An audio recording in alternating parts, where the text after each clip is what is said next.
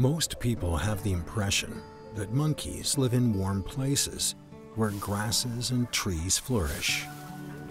But one special species inhabits the Rocky Mountains more than 3,000 meters above sea level.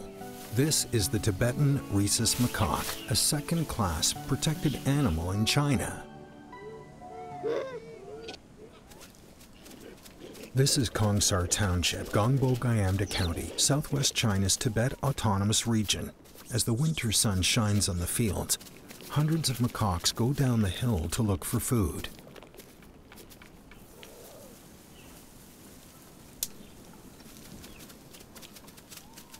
The Tibetan rhesus macaque has thick brown fur, which can protect them from coldness in the high mountains.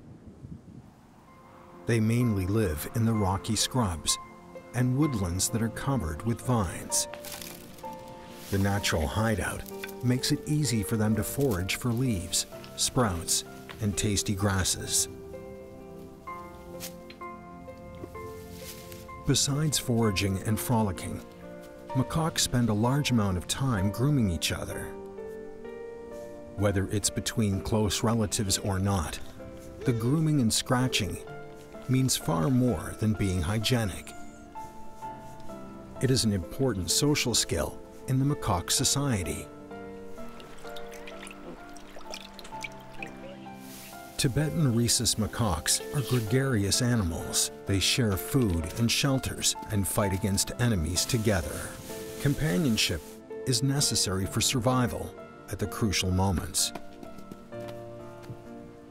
Grooming is the best way to establish relationships and build mutual trust.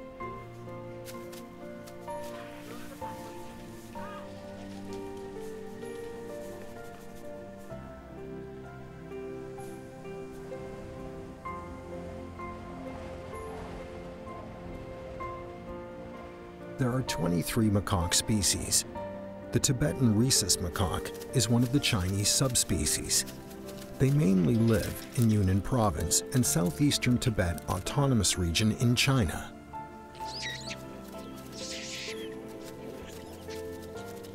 The group consists of up to hundreds of Tibetan rhesus macaques.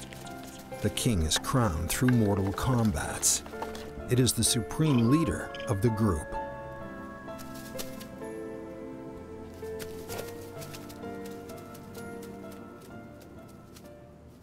Macaques always maintain sharp vigilance wherever they go as a group.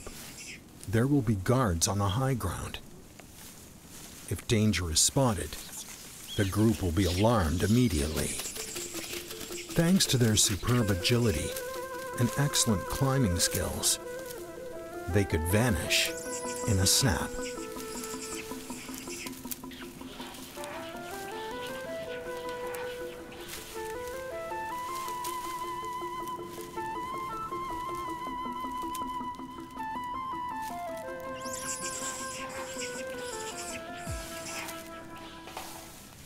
Few people know that the place where thousands of macaques thrive lightheartedly was a typical rural village a dozen years ago.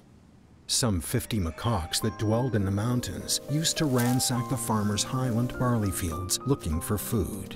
Most of the locals were hunters. The confrontation was inevitable between human and macaque. After many discussions, however, the hunters made an incredible choice. They left the village.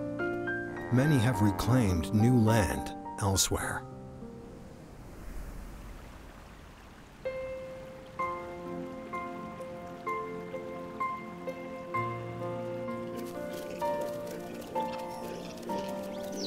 For the Tibetans who have lived here for generations, the macaque is not just an ordinary animal, but also a revered and respected being.